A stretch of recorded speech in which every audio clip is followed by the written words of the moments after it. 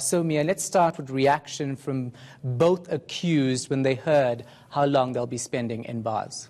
Well, Sean, as you mentioned, baby Daniel's mother and her former boyfriend were really slapped with a hefty sentence today.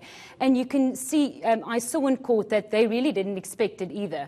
Um, after the sentence was handed down, the, both of them just stayed in front of them for a while. And then there was a little altercation between him and members of um, Women and Men Against Child Abuse.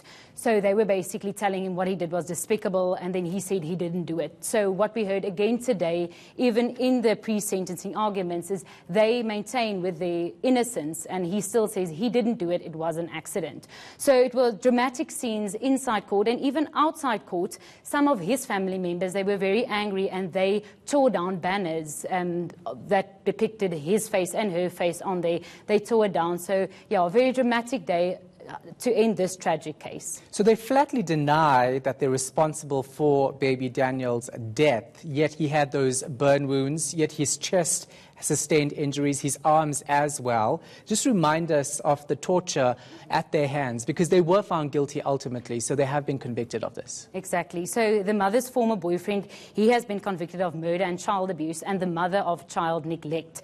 So basically, um, yeah, just what this child endured. We went through it in court again today. Um, Judge Colin Matshitse basically described it as sadistic torture rather than just abuse.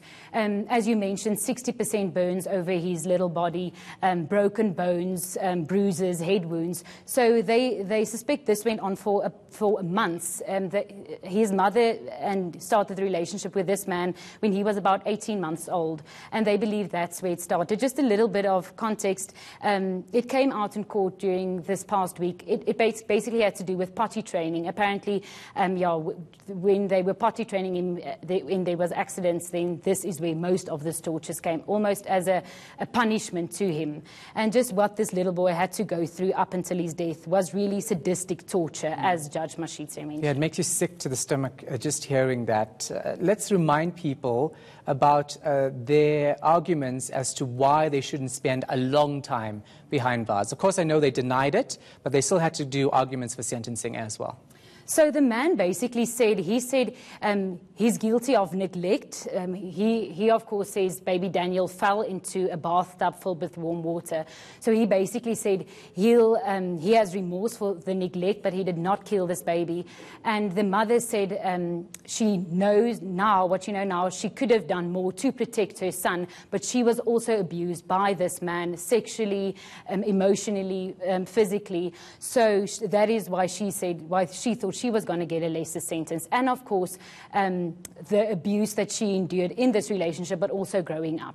So, what about baby Daniel's relatives, extended relatives? Are they in court? How do they respond to this? So, Shahan, as you've um, seen, we're not allowed to show any of the relatives or um, the two accused or uh, photos of baby Daniel. That's because, because this couple has six other children between the two of them. So the family members were in court today, very emotional, her parents and his parents. Um, but we can't say too much about them. We, we can't show them even because anything that can identify the other six children, just to uh, prevent secondary trauma, what they've been going through, um, yeah, just to try and prevent that. So, yeah, no identities. That's why we also can't show them. I know a lot of viewers want to see their faces, these two, but yeah, we, we're not allowed to show them. All right, thanks so much for that. Appreciate it, Mia Spies.